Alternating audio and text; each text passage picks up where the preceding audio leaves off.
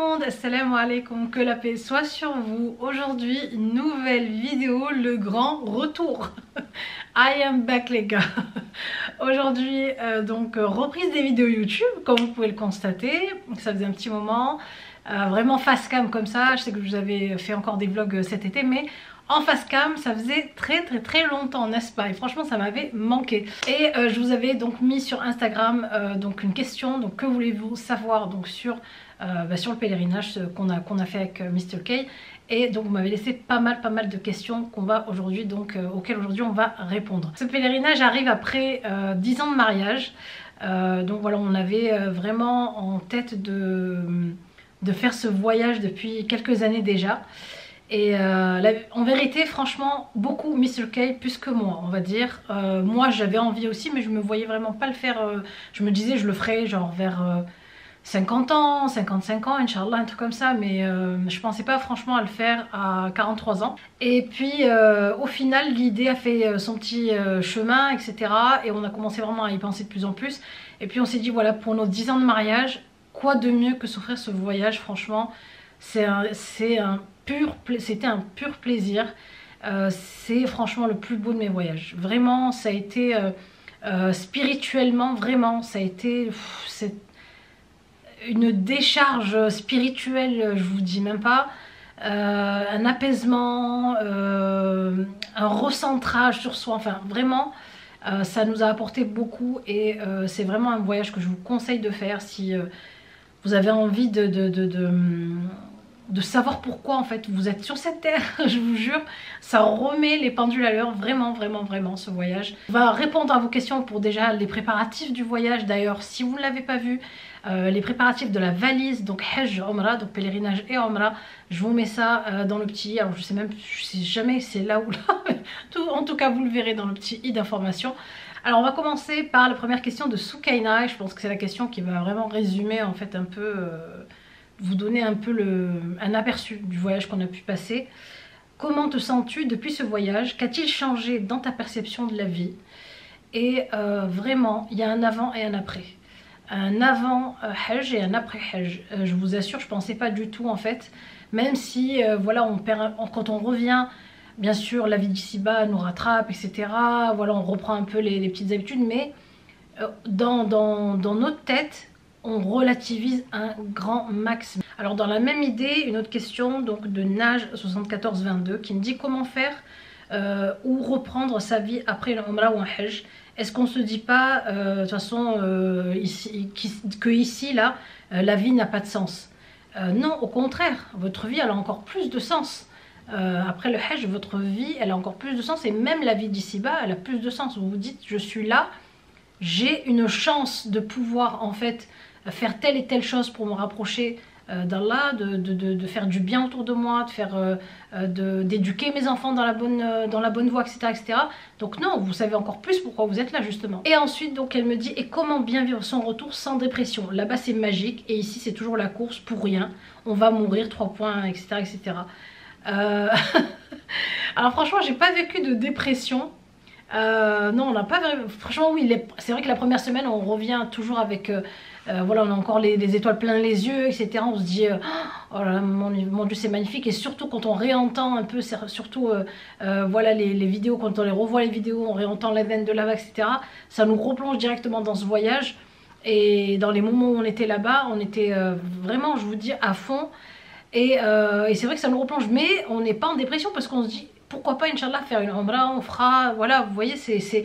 Et surtout, on se dit toujours, franchement, on a de la chance, on a eu de la chance de le faire jeune, entre guillemets, 43 ans, c'est encore jeune. Alors, on va parler d'abord donc un peu de, questions, euh, on va dire, entre guillemets, pratiques. Après, on parlera du côté financier. Donc là, j'ai Jam Ilach qui me dit, tu conseillerais d'y aller avec tes enfants ou c'est insurmontable? Vraiment, je vous dis, euh, non. Le Hajj avec les enfants, déjà d'une, je crois que c'est qu'à partir de 12 ans. Euh, c'est accepté qu'à partir de 12 ans, les enfants en bas âge, ce n'est pas accepté. Quoique j'en ai vu, alors je ne sais pas comment ils ont fait pour euh, amener leurs enfants, j'ai vu des égyptiennes avec leurs enfants. Mais je vous jure, euh, vous, vous allez pour, pour un but, c'est de vraiment vous concentrer dans votre adoration. Donc si vous avez des enfants avec vous, vous n'allez pas être à fond. Et je vous assure que, euh, voilà, après, si vous avez envie de faire une Umrah avec vos enfants, bien sûr, ça c'est, je, moi je vous le conseille. Mais le Hajj, le pèlerinage, non, faites-le avec votre époux ou avec votre père ou avec votre frère, etc. Mais vraiment faites-le avec des adultes pour que vous puissiez être vraiment concentré. Alors, Malika qui nous dit, qu'est-ce qui est le plus éprouvant physiquement La chaleur, même si on n'est pas tout le temps en fait dans la chaleur. Hein. On est souvent dans la clim tout le temps et surtout aussi la clim. Franchement la clim ça vous met KO. Là-bas les clims elles sont tellement à fond partout. Donc prenez de quoi vous couvrir, vous dites pas oui il fait trop chaud je prends rien. heureusement j'avais pris un plaid avec moi.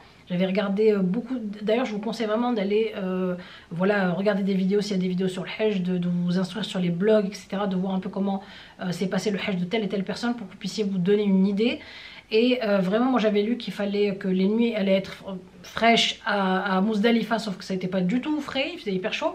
Mais quand même, j'avais ce, genre de chaud plaid, et je vous assure que dans, le car, quand il faisait hyper froid avec la clim, ah, mais c'était euh, c'était le top quoi. Je, couvrais même ma, copine qui était à côté de moi. On s'en mitouflait dedans pour, se réchauffer. Et puis sous les tentes à pareil, euh, les clims elles sont tellement fortes que voilà, vous avez envie de vous couvrir la nuit, même si vous donnez des petites couvertures. Donc euh, la clim, ça a été vraiment, euh, voilà, c'est tout le monde tousse là-bas, tout le monde est en train de tousser. Au début, quand je les entendais tousser, je me disais, mais c'est quoi, ils ont le Covid? Qu'est-ce qui se passe? Et au fait, j'ai compris après, quand moi je suis tombée malade, j'étais KO, que c'était euh, la clim, quoi. Hum, physiquement, et pareil, la marche. Alors la marche, il faut vraiment s'entraîner, les filles entraînez-vous à faire de la marche avant d'y aller. Vraiment, si vous n'avez pas l'habitude de marcher, il faut marcher avant. Elle me demande aussi s'il faut avoir un certain niveau de connaissance pratique avant d'envisager le Hajj. Mais bien sûr que non. Vraiment, euh, si vous savez euh, déjà prier, c'est-à-dire euh, vous avez connaissez la Fatiha et une autre sourate, que vous savez prier, c'est largement suffisant. Comment vous dire Déjà, de toute façon, vous êtes accompagné normalement avec donc un guide. C'est le guide qui vous dit de dire tel et tel doigt. après, bien sûr, rien ne vous empêche de faire des petites révisions avant. C'est ce qu'on avait fait. Moi, je m'étais fait des, fiches de, révision, des doigts qu'il fallait dire à tel et tel euh, endroit, donc des invocations à dire à tel et tel endroit du, pèlerinage. Et euh, donc je les avais apprises, etc. On les avait apprises euh, avec Mr. K avant. franchement, les bases, après, il ne faut pas être un chir pour aller au Hajj. Au contraire, non, on y va pour justement consolider sa foi, se reconnecter, etc. Donc Vraiment, allez-y, ne, vous freinez ça, il ne faut pas que ce soit un frein. Et elle me dit aussi, est-ce que tu penses que c'est mieux de faire la Umrah avant le Hajj? Alors personnellement, moi personnellement, j'ai toujours préféré faire le Hajj avant la Umrah. Euh, déjà côté financier, je me suis dit bah, pourquoi mettre de l'argent dans une Umrah pour après remettre de côté de l'argent pour le Hajj, donc autant faire le Hajj directement, l'obligation. Et après, euh, pourquoi pas faire la Umrah avec les enfants, et etc. Donc, euh, on va dire, nous, entre guillemets, on a fait le plus dur avant, et parce que la Umrah, c'est beaucoup plus léger, hein, ça n'a rien à voir avec le Hajj. Il y a quelques... plein de petits trucs qui ressemblent, mais c'est beaucoup plus léger. vous pouvez aller, voilà, vous voyager, vous promener. Vraiment, là, vous avez l'impression vraiment d'être en voyage, plus, entre guillemets, touristique que, que le Hajj.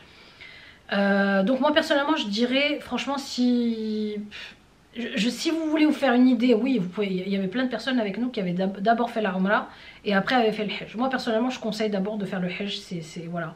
Euh, on ne sait pas quand on part etc donc faites le Hajj au moins votre obligation elle est faite et après la Umrah vous pouvez en faire autant que vous voulez alors euh, il y a Lily Rose Madina qui me demande est-ce que tu t'es préparé spirituellement tu t'es préparé spirituellement et physiquement combien de temps avant? Alors moi franchement je me suis pris tard euh, je m'étais donné une année pour me préparer avant, mais voilà, je pensais toujours qu'on peut-être qu'on n'allait pas y aller cette année, euh, c'était peut-être pas encore faisable, etc., etc. Et au final, les choses se sont précipitées et on l'a fait l'été enfin en juin dernier. Alors moi, je conseillerais vraiment de commencer la préparation au moins, au moins six mois avant.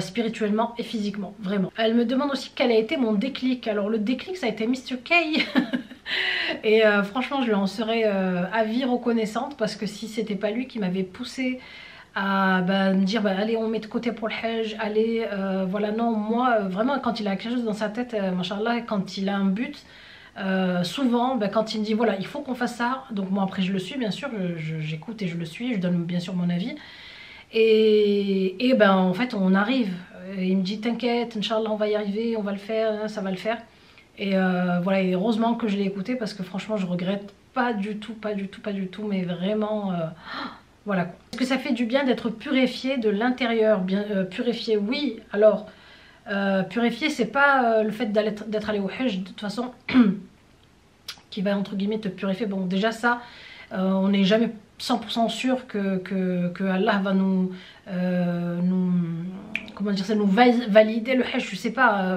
moi dans Petit Trou peut, ne pas valider ton pèlerinage, etc. Donc on fait des invocations pour on demande à Allah qu'il accepte notre hajj, que notre hajj soit, soit valide, etc., qu'il nous purifie, etc.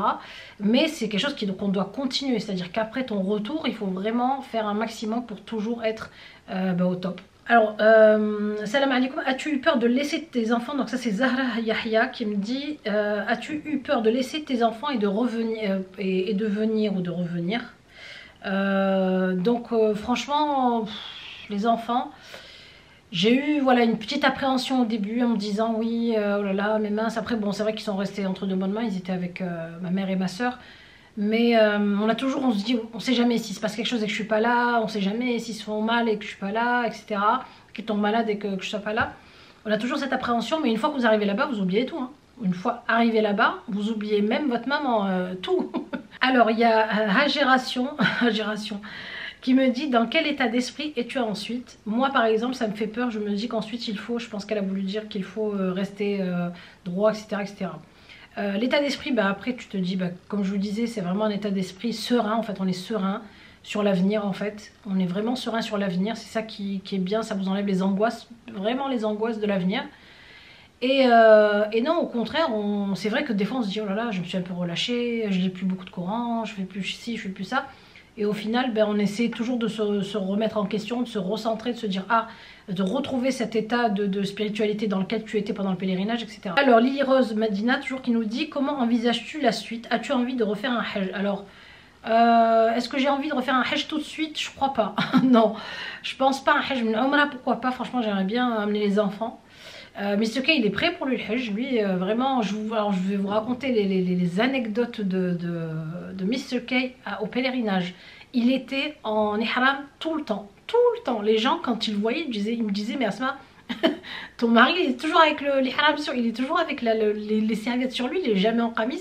Même après, euh, après qu'on soit sorti de l'état de, désacralisation, en fait, de sacralisation plutôt, quand on s'est désacralisé, euh, il était encore avec l'ihram. En fait, comme, comme en bas euh, au Tawaf, donc vraiment à côté de la Kaaba, euh, on pouvait y entrer cette année, donc d'ailleurs c'était comme ça, on pouvait y entrer qu'avec l'ihram. Donc les femmes, elles avaient le droit d'y entrer, elles, tout le temps, mais les, hommes qui étaient en qamis, ils ne pouvaient pas entrer en bas. Donc il fallait qu'ils aillent faire leur Tawaf en haut, etc. mais mais les, hommes qui, étaient avec leur serviette, donc lui il était toujours en serviette. Tout le monde avec son camis et tout, et lui en serviette, en ihram. Alors, euh, donc il y a Senda qui me dit, euh, par rapport au manque de sommeil, est-ce que la fatigue n'affecte pas la qualité des actions? La concentration, euh, les doigts, donc les invocations, parce que marche plus avec la marche et la chaleur. vraiment, je vous assure, là-bas, en fait, tellement...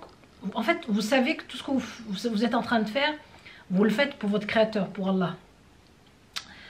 Et euh, ça vous donne une force, mais mentale, incroyable. Je vous assure que si j'ai été juste en voyage comme ça, je crois juste touristique, genre dans un pays comme ça qui fallait faire tout ça, etc., je crois que j'aurais pas pu. J'aurais pas pu, tenir en fait. Euh, alors certes, on est fatigué, certes, il y a la chaleur, certes, il faut marcher, certes, etc., etc., mais on est tellement avec, donc cette, si vous voulez, il y, a, y a tellement une... Comme tout le monde est avec vous, il y a une, symbiose en fait avec les gens, il y a, y a cette, cet élan de, de, spiritualité avec tout le monde. Euh, quand on fait la telbia, quand on fait... Franchement, que rien que de vous en parler là, j'ai les larmes qui sont en train de me remonter, j'ai les souvenirs, j'ai l'émotion. Parce qu'on est tous connectés en fait à, à, Allah. On est tous connectés, on est tous là pour lui et on se dit euh, je peux pas lâcher, je peux pas, non, il faut que je continue, etc., etc., même si c'est dur. Et, euh, et, en fait, euh, vous sentez pas la fatigue. Alors, c'est vrai que bon, des fois, votre corps lâche. Moi, j'ai vu des, des, des, femmes avec moi qui étaient vraiment dans un sale état, euh, vraiment. Moi, je l'ai été aussi à cause de la clim au bout d'un moment, c'était fatigue plus clim, etc., ça joue, hein. Mais c'est pas grave, on continue. Moi, je sais que quand je suis tombée malade et que j'ai pas pu terminer, en fait, mon, vous savez, le, le, le rajm, de, de, lancer les pierres sur les, sur les stèles, euh, quand j'ai pas pu terminer, donc j'ai donné ça, j'ai laissé faire euh, Mr. K, donc il l'a fait. le soir même, il m'a dit allez viens, tu, comme ça tu vas faire ton, ton tawaf de, fin en fait de, ton hajj pour sortir de l'état de sacralisation.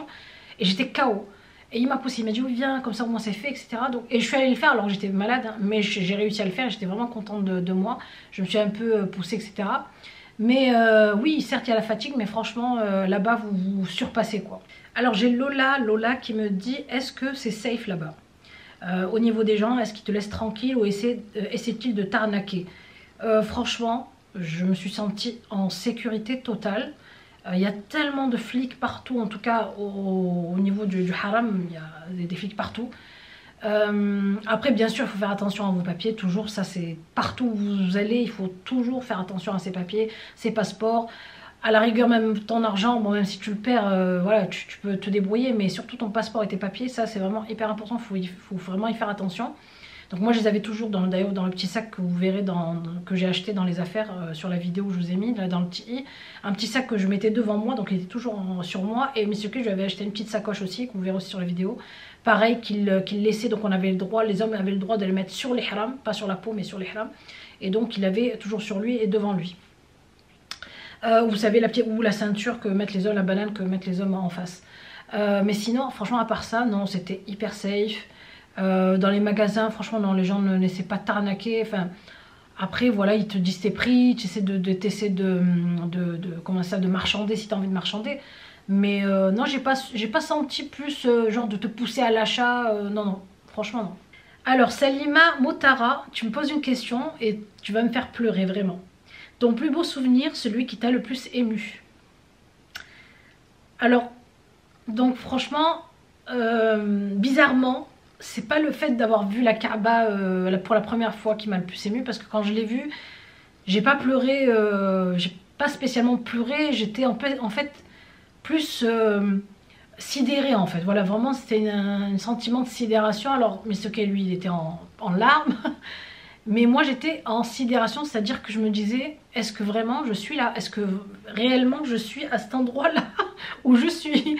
C'est ça en fait, moi j'étais dans un état de sidération totale. Mais là où j'ai vraiment, vraiment, vraiment pleuré, à un moment on a fait le tawaf avec Mr. K, euh, donc au dernier étage tout en haut, donc c'est l'étage le, plus euh, long à faire. Ce qu'il voulait, il y a trois euh, étages et d'autres étages pour les personnes qui sont en mobilité réduite. Mais il y a donc l'étage, en fait, le, le, sol où il y a la Kaaba, donc vous faites le tawaf, là c'est rapide à faire même s'il y a beaucoup de monde, mais quand même c'est beaucoup plus rapide. Après vous avez l'étage qui est climatisé, donc là c'est un peu plus long, il y a un peu moins de monde. Et enfin vous avez l'étage tout en haut qui n'est pas couvert. Euh, là il y a beaucoup moins de monde, et, euh, mais par contre euh, le tour est, très long. Donc vous faites je crois le double de la, distance, voire le triple.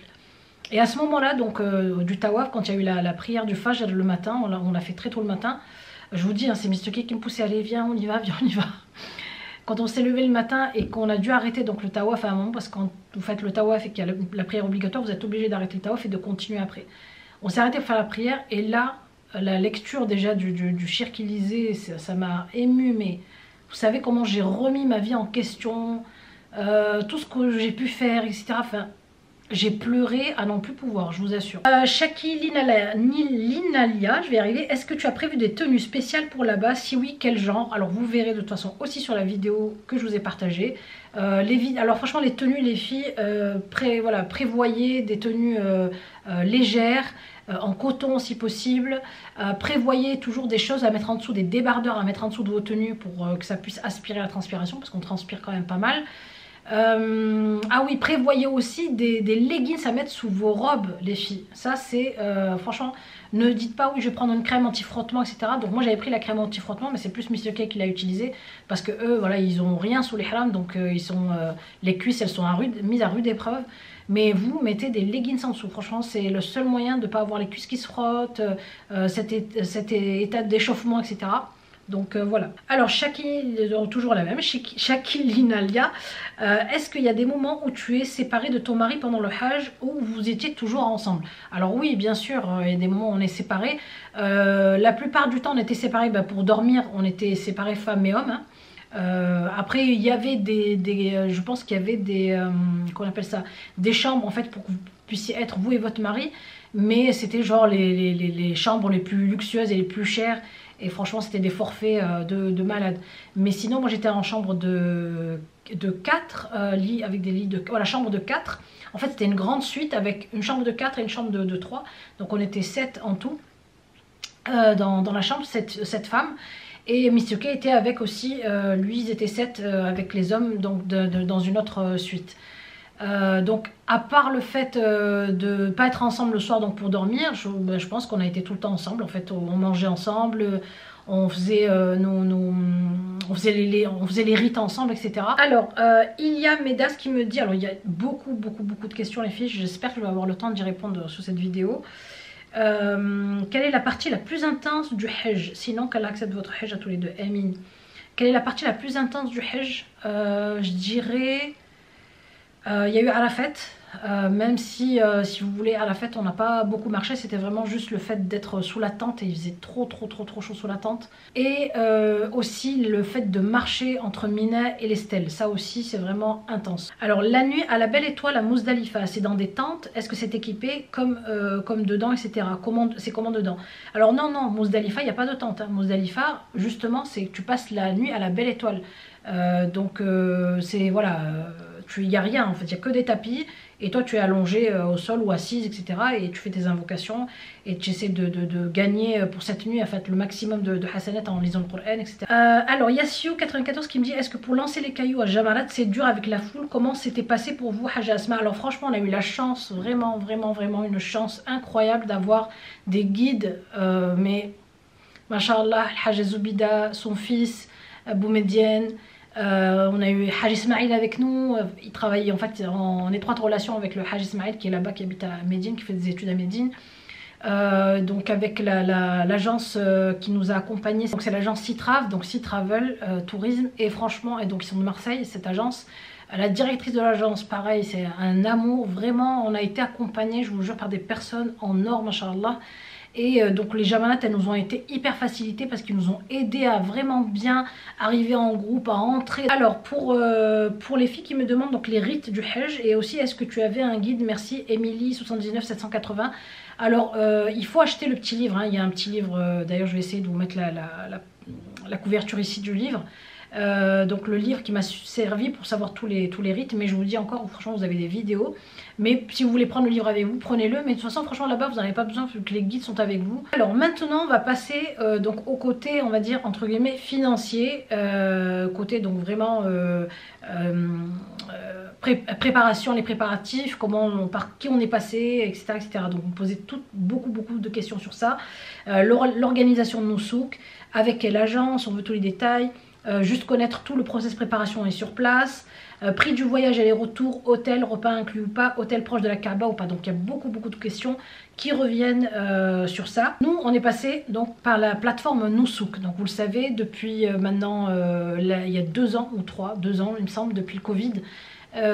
donc il y a donc au début ils avaient fait une plateforme, plateforme Montawif qu'ils ont changé en Nousouk l'année dernière. Donc je pense que ça va rester Nousouk. Et depuis, on ne peut plus passer par qui que ce soit comme agence que par Nousouk. Alors avant, on pouvait aller euh, dans une agence en France, euh, payer son pèlerinage et partir donc avec cette agence-là euh, et avec les guides de cette agence. Nous, on est, a été obligés, et de toute façon tous les gens qui sont partis au Hajj cette année, que ce soit de France, d'Europe, des États-Unis, d'Australie, de, peu importe d'où ils sont venus, du Canada, etc., tout le monde est passé par cette plateforme Nousouk. Alors franchement, ça a été hyper dur, hyper hyper dur, même si à la fin, voilà, tout, tout s'est mis en place et alhamdoulilah, tout a été à la fin facilité. Mais ça a été hyper dur parce que pendant une semaine, on n'a pas dormi, on n'a pas fermé l'œil. Vraiment, on était euh, à l'affût en fait des forfaits parce qu'une fois qu'ils ont ouvert, donc je crois qu'ils avaient ouvert le, il me semble le 4 mai. Donc le 4 mai au soir, euh, donc euh, la plateforme Nusuka a ouvert et en fait ils ouvraient à chaque fois par continent. Donc au début ils avaient ouvert pour l'Europe, après ils ont ouvert pour les États-Unis, etc. Il me semble que ça a été fait euh, euh, par, par palier, par étape. Le soir où ils ont ouvert, donc le 4 mai, et nous on s'est dit voilà par rapport à notre argent, ben, on, va, voir les forfaits qu'il y a. Et donc les forfaits étaient mis à jour jour après jour, donc à chaque fois, chaque jour ils rajoutaient d'autres forfaits. Le 4 mai au soir, il y a eu tellement un gros bug que euh, le, site a sauté en fait. tout, tout bugué, on n'arrivait pas à accéder au, au forfait. On était stressé parce qu'on disait mais mince, tu avais plus avoir de place, etc. etc. Que, euh, donc on a fait une manipulation, donc ce, jour-là, on a voulu euh, donc réserver Euh, donc déjà. K c'était, c'était, mis, avait mis trop de temps à réfléchir parce qu'il me disait non, moi franchement pour ce prix-là, je pars pas deux semaines, je pars trois semaines, et c'est bon, on part de Paris, et les départs de trois semaines, il n'y avait que de Paris. Je lui dis mais écoute franchement ça revient au même, là on va payer déjà l'aller-retour pour, pour, Paris, bon après tu vas me dire c'est pas ce qui coûte le plus cher l'aller-retour pour Paris, on va payer aussi l'hôtel à Paris, ça va nous faire partir de là-bas etc., etc. Enfin franchement c'était toute une organisation et en plus de ça, je lui disais, écoute, franchement, euh, en plus les hôtels, euh, c'était pas les hôtels qui me plaisaient. Et puis à un moment, je lui dis, regarde, il y a un forfait de Marseille, 14 jours, donc déjà c'est bien, 14 jours pour les enfants, je me dis, c'est pas trop long, c'est pas trop con non plus, je me dis 14 jours, là on a le temps de, faire notre hajj aussi, de, profiter un peu. Et, euh, et, je lui dis, regarde, on est en face du haram, on était à 100 mètres, donc, dans l'hôtel, on était à Zemzem Pullman. Donc le Zemzem Pullman, il est en face. Tu descends en fait, euh, toi là, tu marches même pas, allez, une centaine, je te dis 100 mètres, et tu es au haram. Et je lui dis, regarde, ce qu'on va gagner en fait à, rajouter une semaine en plus dans un, hôtel trop loin, ben nous on va le gagner en étant vraiment proche. Et même si c'est que 14 jours, mais au moins tu profiteras vraiment du haram à 100%. C'est ce qu'il voulait, ce voulait faire. Et euh, du coup, ben, il y avait ce forfait, donc on clique nous sur le forfait, et en fait la réservation ne se fait pas parce qu'on pensait vraiment l'avoir faite. Donc on part, nous à la banque, on fait notre virement, etc. Et euh, donc nous, le forfait nous était revenu à, peu près pour deux personnes, aller à peu près 20 000 euros dans, ces eaux-là. 19 000, voilà, 19 000 des poussières ou 19 000 euros. Et, euh, et du coup, euh, donc en partant, donc en allant faire le virement, on revient. Et pendant quelques jours, nous, on était sûr que ça y est, on avait réservé quoi. Sauf qu'au bout de quelques jours, donc on s'est mis, euh, donc notre guide en fait, euh, Hajj nous avait fait avait mis un petit forum en place euh, sur WhatsApp pour qu'on puisse se parler. Et les gens en fait au fur et à mesure que je voyais parler, disaient non mais moi c'est bon j'ai reçu ma confirmation, patati patata. Et je regarde Mr. K, je lui dis mais nous on n'a pas eu de confirmation, c'est pas normal. Et au final, ben, en fait, il s'est avéré que on n'avait pas du tout de réservation. On avait envoyé l'argent qui était arrivé sur notre porte-monnaie Noussou, parce qu'il y a un porte-monnaie sur le, sur le site. Quand vous envoyez votre argent, votre argent arrive ici. Et euh, sur le porte-monnaie euh, Nosouk, il y avait nos sous, mais on n'avait pas de réservation. Donc je vous dis pas, dans l'état dans lequel on a été, psychologiquement, on était mais au bout, à bout. Pendant des jours et des jours, à pas dormir, à rester sur la plateforme. Je vous dis, mais des nuits blanches. Donc vraiment à cliquer, rafraîchir la place, parce qu'il fallait à chaque fois rafraîchir pour voir s'il n'y avait pas des places qui se libéraient. Et le forfait était déjà plein. Et subhanallah, bien sûr, comme tout le monde le dit, et c'est ça a toujours été ça, euh, si vous êtes l'invité d'Allah, rien ne peut se mettre sur votre chemin pour aller au Hajj. Si vous avez été invité, vous y allez. Si vous n'y allez pas, c'est que vous n'avez pas été les invités d'Allah cette année, vous le serez peut-être une autre fois. Et, euh, vraiment, on s'est dit, bon voilà, moi je me suis dit, c'est fichu, alors qu'on choisisse notre forfait. Donc moi je stressais Mr. K, je dis, mais écoute, laisse tomber, viens on prend notre forfait, parce qu'on avait donc déjà l'argent. Nous, c'était déjà facile, parce qu'il y avait des gens qui avaient d'autres problèmes. Il y avait des gens qui voulaient réserver, mais leur argent n'arrivait pas. Donc eux, impossible de réserver quoi que ce soit. Nous, on pouvait encore changer et réserver euh, d'autres... Lui me dit, non, attends, Asma, euh, patiente. Il me dit, t'inquiète pas, là, mon avis, malheureusement, il me dit, vendredi soir, il y aura peut-être des gens qui leur place va sauter parce que leur paiement n'est pas arrivé. C'est vrai, vendredi, en fait, euh, donc vendredi, on, se décide, donc c'était ça, le dernier, vraiment le dernier cara pour avoir ce, forfait-là. Vendredi soir, je vous dis, subhanallah, c'était, mais on était d'une fébrilité, mais vraiment, on tremblait. Vendredi soir, subhanallah, je vais donc, euh, on se dit, allez, tu sais quoi, euh, ok, on va se relayer. C'était jeudi soir, vendredi soir, je sais plus, je lui dis, écoute, va dormir on va se relayer, euh, toi tu dors jusqu'à 3h du matin, et puis moi, euh, j'irai dormir après toi, donc on se relaie pour rafraîchir les pages. Et à 2h30 du mat, je rafraîchis, je rafraîchis, je rafraîchis, mais je, dis, je me suis dit, c'est quoi, ça me met-toi une série, parce que sinon tu vas t'endormir. Je me mets une série, je regarde, et puis je rafraîchis, je rafraîchis, je rafraîchis. Et là je clique et je vois 4 places de libre. J'ai jamais écrit mon prénom et mon nom et mon adresse aussi vite que ce soir-là sur la plateforme. J'ai cliqué, je clique valider et là je reçois ma confirmation. Oh, je vous jure, mon cœur, comment il battait. Je suis partie le réveiller. Je lui dis écoute, Kamel, lève-toi. Ça y est, j'ai dit on a la réservation. Et lui qui court, qui sort. Non, mais c'est pas possible. En plein sommeil. Et alhamdoulilah, donc juste après, après on a fait la demande de visa. Donc directement, vous faites la demande de visa sur le site. Tout se fait sur le site. Et dans la foulée, je reçois mon visa, alhamdoulilah. Mr. K l'a reçu, je crois, deux jours après. Alors je vous dis, franchement, tout est aléatoire. Parce qu'il y a des gens qui ont eu qui ont demandé, par exemple le soir même, le, visa, ils l'ont eu un mois après. des gens qui ont demandé, donc tout était aléatoire, il y avait des gens qui, ont attendu la dernière minute pour avoir leur, leur visa, alors qu'ils l'avaient demandé, qu'ils avaient réservé les premiers, etc. Donc vraiment, c'était juste impressionnant. Et euh, une semaine, je vous dis pas, à pas dormir, on était chaos, chaos vraiment. Donc l'organisation, nous souk, c'était euh, quelque chose quand même. C'était vraiment chaotique au début. Puis après, tout s'est mis en place. Franchement, ils sont sympas. Après, pour les avoir au téléphone, pareil, c'était une, une galère, une galère. Même par euh, WhatsApp, les gens, il y avait tellement de monde qui voulait aller au Hajj, tellement ils ont été submergés, je pense qu'ils n'ont pas dû, s'attendaient pas à autant de gens que euh, ça a été, euh, voilà. Donc j'espère que les années qui vont arriver, il y aura beaucoup plus de, choses euh, faites, mises en place pour vraiment pour soit bien organisé. et du coup, donc en fait, quand vous prenez les forfaits, vous avez des guides qui seront avec vous dans les forfaits. Donc, pour ce qui est de l'hôtel, donc le prix, donc je vous ai dit à peu près, nous, alors d'ailleurs dans le prix dont je vous parle, nous il y a eu, vu qu'en fait on n'a pas pu payer en réel à la banque, on a payé en euros, il y a eu en fait des frais qui ont été pris euh, par l'Arabie Saoudite pour le, changement d'euros. Donc je crois qu'ils nous avaient pris dans les alentours des 700 euros, il me semble. 700 hein. euros de, frais de changement ou 500 euros 700, 700 euros. Donc je vous dis pas. C'était quand même une somme, mais on s'est dit, bon, écoute. Euh, euh, quoi d'autre? Ah oui, pour l'hôtel, alors tout était compris. Donc je vous disais, le Zamzam Pullman, c'est un hôtel, mais il est magnifique. Machallah, magnifique. Les chambres sont belles. Vous, avez, vous pouvez avoir la vue sur la Kaaba. Donc nous, on avait la vue sur l'entrée du haram pas sur la Kaaba, mais eux ils avaient la, vue sur la Kaaba, c'était trop beau. L'hôtel il est magnifique. Le buffet, euh, alors je vous ai pas filmé le buffet parce que franchement on n'est pas du tout dans, un, dans l'état vous filmer le buffet. Enfin on est vraiment tellement déconnecté, je vous dis, de la vie de la Donia qu'on pense même pas à filmer euh, ce qu'on mange, etc. Mais il y avait de tout, les chefs, de, le chef de l'hôtel, franchement c'était hyper bon.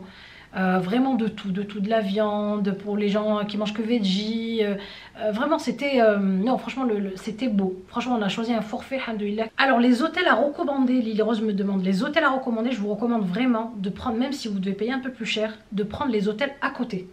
Ne vous faites pas arnaquer, ne prenez pas des hôtels moins chers plus loin parce que je vous jure que vous ne profiterez pas du, haram, à part si vous restez bien sûr 3 ou 4 semaines là-bas et que une fois que le hajj est terminé, vous pouvez venir, mais franchement, prenez des hôtels le plus proche possible du haram. Alors, l'histoire des vaccins maintenant. Donc, les vaccins, il nous fallait avoir deux doses du vaccin Covid et euh, de la méningite. Donc ça, c'est les vaccins obligatoires. Et puis enfin, dernière question, est-ce que euh, on me demande est-ce que tu préconises de faire le Hajj jeune ou plus tard ou genre euh, parce que cette personne-là a 43 ans, elle me pose la question, franchement, faites-le le plus tôt possible. Faites-le quand vous pouvez, faites-le. Euh, remettez à plus tard vos autres voyages. Si vous avez en tête d'aller, je ne sais moi, euh, aux Maldives, à Bali, peu importe. Remettez ça à plus tard. Et faites d'abord ce voyage avant tous les autres voyages. Profitez vraiment tant qu'il y a encore temps, tant que vous avez encore la force. Et puis voilà pour cette euh, vidéo. J'espère en tout cas qu'elle a pu vous aider à bah, éclaircir certaines questions que vous aviez. Euh, moi, bah, écoutez, sur ce, euh, je, vous fais un gros gros gros bisou en espérant qu'une autre vidéo arrive vite, que je mette pas encore, euh, je sais pas combien de mois à en faire une. N'hésitez pas bien sûr à liker la vidéo, je vous en remercie vraiment d'avance et du fond du cœur, parce que c'est ce qui fait que je veuille revenir sur YouTube et continuer les vidéos. Merci encore pour votre soutien, merci encore pour tous vos messages de félicitations pour le Hajj. Ça vous facilite d'y aller aussi, franchement, parce que c'est un voyage merveilleux. Je vous embrasse très très fort, je vous fais un gros gros bisou, je vous mets toutes les infos bien sûr en barre d'infos et je vous dis à très vite pour une nouvelle vidéo. Bisous